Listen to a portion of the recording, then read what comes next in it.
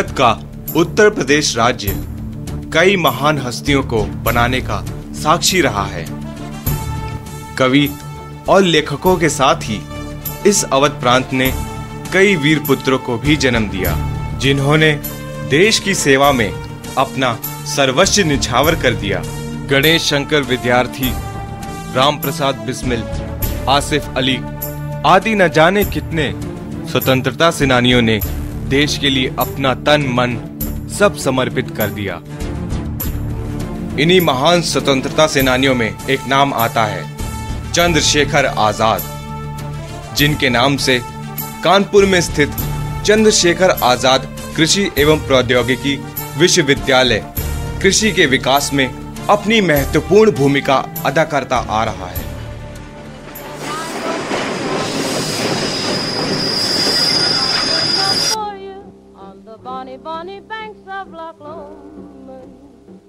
19वीं शताब्दी में देश में भीषण सूखे व अकाल से निपटने के लिए ब्रिटिश सरकार द्वारा फेमाइन कमीशन की स्थापना की गई थी। वर्ष अठारह में प्रथम कृषि वैज्ञानिक के रूप में नियुक्त एग्रीकल्चर केमिस्ट द्वारा देश के विभिन्न हिस्सों की जलवायु व मिट्टी का परीक्षण किया गया।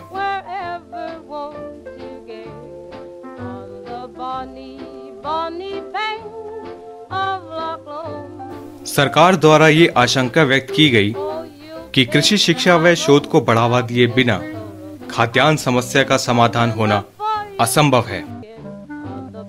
इस समस्या से निपटने के लिए ब्रिटिश सरकार द्वारा कृषि शिक्षा व शोध को बढ़ावा देने के उद्देश्य से वर्ष 1906 में पुणे, साबोर कोयम्बटूर नागपुर, कानपुर व लायलपुर में गवर्नमेंट एग्रीकल्चर स्कूल्स की स्थापना की गई। स्वतंत्रता के बाद लायलपुर पाकिस्तान के हिस्से में चला गया।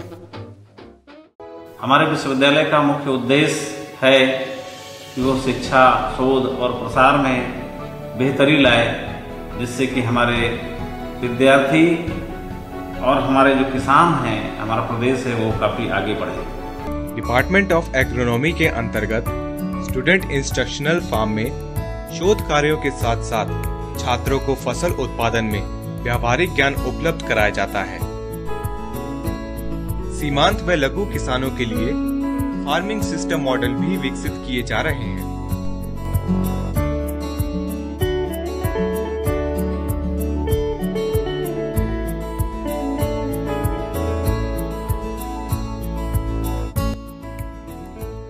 आईएफएस एक्रिप आईएफएस योजना के तहत आईसीआर की मदद से हम एक integrated farming system model develop कर रहे हैं। और मॉडल एस्टेब्लिश करने से पहले जो हम इस जोन के किसान हैं, उनका सर्वेक्षण किया हमने और सर्वेक्षण के उपरांत जो किसानों के यहाँ उपलब्ध संसाधन हैं और उनकी आवश्यकताओं को ध्यान में रखते हुए हमने इनिशियली जो है तीन कंपोनेंट इस मॉडल में इंटीग्रेट किए हैं।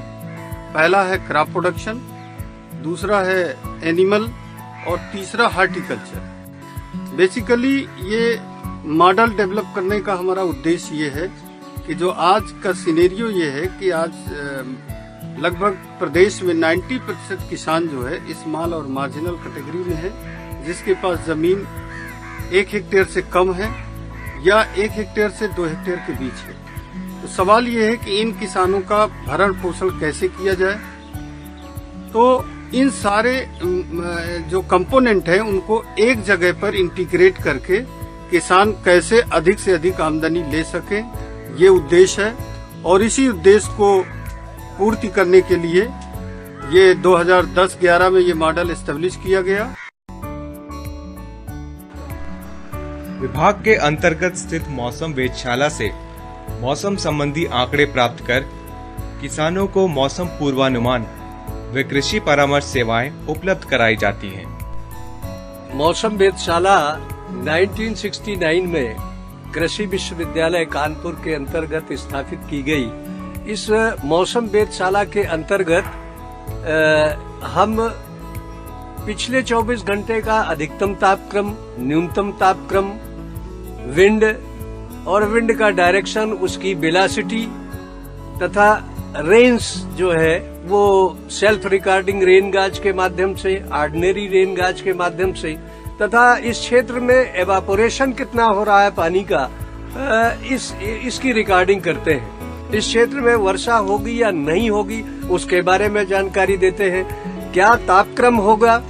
क्या रात का तापक्रम होगा और क्या दिन का अधिकतम तापक्रम होगा? इसके बारे में जानकारी देते हैं। और इस फोरकास्ट के माध्यम से हम अपने किसानों को ये जानकारी देते हैं कि अगले पाँच दिन जो वेदर रहने वाला है उसमें किसान अपनी खेती पर क्या प्रबंधन करे। डिपार्टमेंट ऑफ़ हॉर्टिकल्चर के अंतर्गत विभिन्न प्रकार के फल व फूलों पर शोध कार्य संपन्न किया जाता है। नींबू वर्गीय फलों में विभिन्न फल जैसे नींबू है संतरा है किन्नू है करना खट्टा है आदि प्रमुख रूप से हमारे बाग में उपलब्ध है। Department of animal husbandry and dairy में शिक्षण कार्य के साथ साथ दुग्धशाला में उन्नत किस्म की गायों व भैंसों का शोध कार्य हेतु रख रखाव किया जा रहा है। पशुओं को संतुलित आहार व हरे चारे की पर्याप्त मात्रा देकर दुग्ध उत्पादन बढ़ाने का कार्य किया जाता है।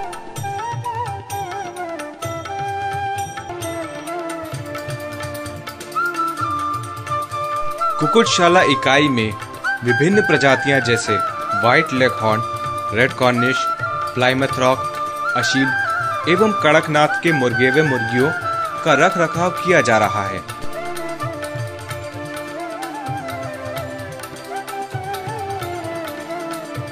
अंडों से चूजे पैदा करने वाली हैचरी भी स्थापित की गई है। विश्वविद्यालय में वर्ष उन्नीस सौ छियानवे में गृह विज्ञान महाविद्यालय के रूप में स्थापित हुआ, जिसमें देश एवं प्रदेश के विभिन्न भागों के छात्रों के लिए गृह विज्ञान में शिक्षा के द्वार खोल दिए गए हैं।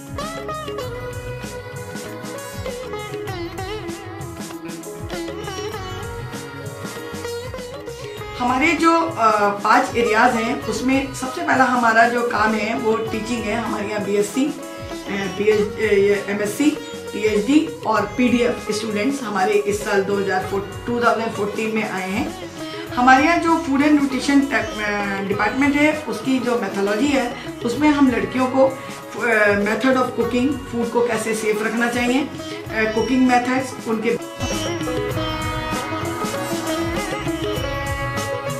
इस महाविद्यालय के अंतर्गत उत्तर प्रदेश सरकार द्वारा दो परियोजनाएँ चलाई जा रही हैं। फ़ूड सिक्योरिटी एवं फ़ूड फोर्टिफिकेशन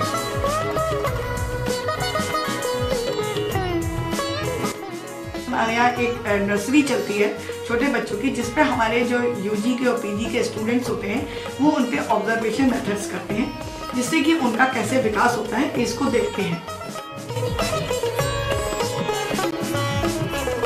दूसरा हमारे यहाँ जो फैमिली रिसोर्स मैनेजमेंट डिपार्टमेंट में उसमें हम इंटीरियर डेकोरेशन घर को कैसे अच्छा बनाया जाए? H I G L I G M I G level पे किस तरीके से लेआउट करना, ये हम बच्चों को बताते हैं।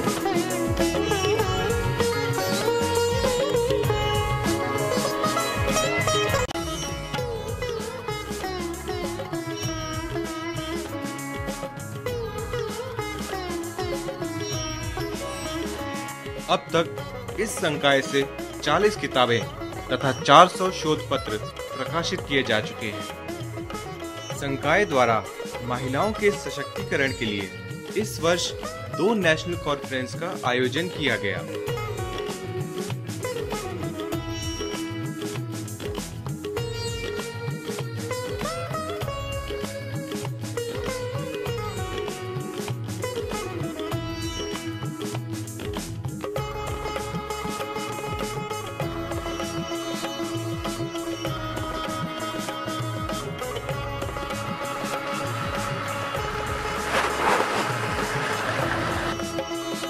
तिलहन अनुभाग द्वारा राई, अलसी, मूंगफली, तिल व सोयाबीन की लगभग इक्यासी उन्नतशील प्रजातियाँ विकसित की जा चुकी हैं।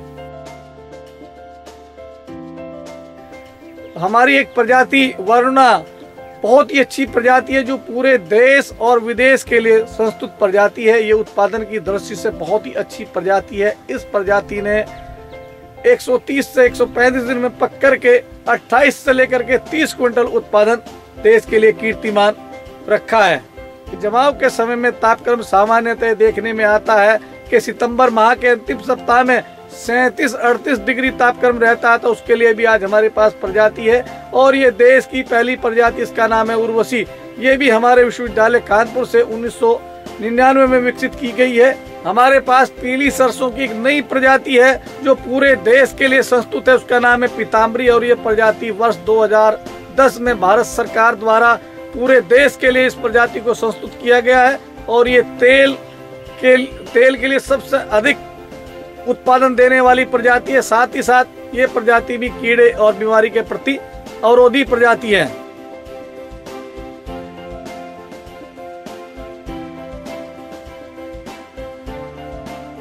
शाक भाजी अनुसंधान की स्थापना वर्ष उन्नीस सौ चौवन में की गई थी। यहाँ पर विभिन्न शाक भाजी फ़सलों, जैसे मटर, टमाटर, मिर्च व मसाला फ़सलों की लगभग सत्तावन प्रजातियाँ व बहत्तर कृषि तकनीकियों का विकास किया जा चुका है।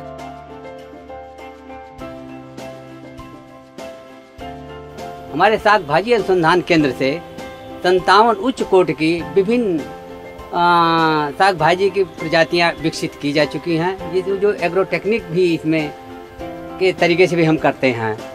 जिसमें मटर की आज़ाद पी थ्री पूरे भारतवर्ष में लगभग सत्तर प्रेशर एरिया कवर करती है। इतनी अच्छी इसकी परफॉर्मेंस है।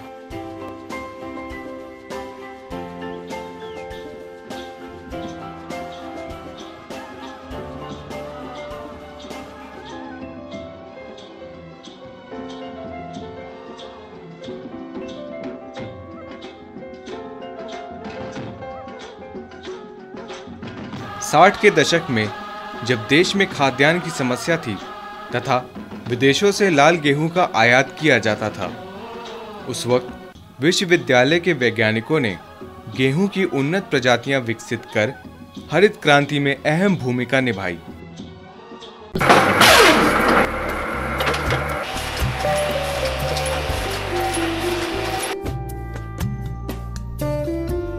विश्वविद्यालय प्रेस की स्थापना 1987 में की गई थी। इसका जो शिक्षण, शोध और प्रसार से संबंधित जो भी साहित्य होता है, वो विश्वविद्यालय प्रेस से छापा जाता है। और किसानों के किसानों के लिए भी जो कृषि साहित्य तैयार किया जाता है, वो भी इसी प्रेस से ही तैयार किया जाता है। Under dynamic leadership chancellor professor Munna Singh ji dean student welfare office has initiated several programs for uh, uh, for students. During this period, we have taken several uh, good steps to improvement the overall the, uh, uh, performance of the student. And one major step the insurance of, of all student was covered. And whenever they were found trouble we have helped them and rushed them immediately in hospital. Apart from this for their sport special care was taken and entire stadium sports stadium was renovated and hostels was given a new shape. Jali installation was done so that they may not be victim of the mosquitoes etc.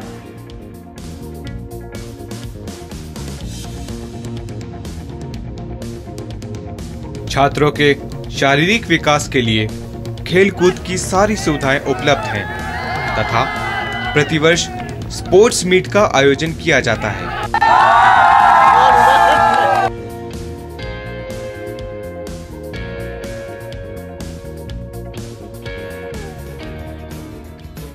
सर्वप्रथम विश्वविद्यालय के वातावरण को कूड़े, करकट, गंदगी से दूर किया गया है। स्वच्छ सी एस स्वस्थ सीएसए का नारा दिया गया है। विद्यार्थी ये पाकर बड़े खुश हैं। वो जल जनित बीमारियों से दूर हो गए हैं। और अपने पठन पाठन पर बड़ा ध्यान दे रहे हैं। इसी कारण से हमारे लगभग 50 विद्यार्थी I C A R J R F select हुए थे। हमें कहते हुए बड़ा गर्व लग रहा है यह संख्या देश में नंबर विश्वविद्यालय की कार्यकुशलता में वृद्धि लाने के उद्देश्य से कुलपति प्रोफेसर मुन्ना सिंह द्वारा लगातार विश्वविद्यालय के विभिन्न विभागों व प्रक्षेत्रों का निरीक्षण किया जा रहा है। तथा महत्वपूर्ण बैठकें कर समस्याओं का त्वरित समाधान किया जा रहा है। चंद्रशेखर आज़ाद विश्वविद्यालय के गौरवशाली इतिहास को यहाँ के हर छात्र व कर्मचारी ने देखा समझा और जाना है। उन्हें गर्व है कि वे विश्वविद्यालय परिवार का हिस्सा हैं। किसानों तक नई तकनीकी पहुँचाने के लिए मुझे गर्व है। मुझे गर्व है कि आने वाले समय में मैं कम से कम तीन प्रजातियाँ वर्ष 2015 में इस देश को दूँगा। मुझे गर्व है। मुझे गर्व है। हमें गर्व है हम सी के छात्र हैं और सी ने हमेशा प्लेटफॉर्म दिया कि हम अपने कैरियर की ऊंचाई को छू सकें और किसान हित में कुछ कर सकें। मुझे गर्व है। मुझे गर्व है। हर स्टूडेंट की जितनी छोटी सी छोटी की समस्या है वो हमारे विश्वविद्यालय में भी इस हिसाब ने उसको सॉल्व किया है। मुझे गर्व है।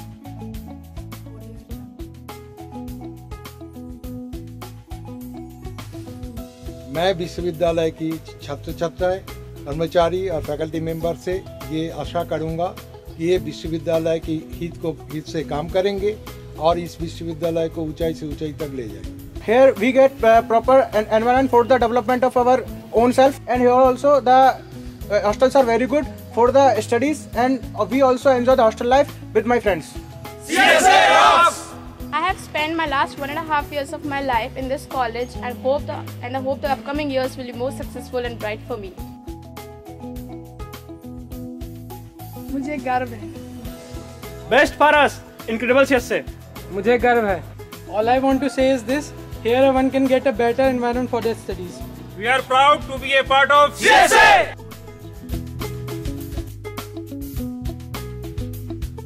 मुझे गर्व है इस प्राचीनतम एवं गौरवशाली इतिहास वाले विश्वविद्यालय में कार्य करने से मुझे गर्व का अनुभव हो रहा है। हमें गर्व है। सीएसए के स्वच्छ वातावरण में हम अपने आप को ऊर्जावान महसूस करते हैं। मुझे गर्व है। मुझे गर्व है।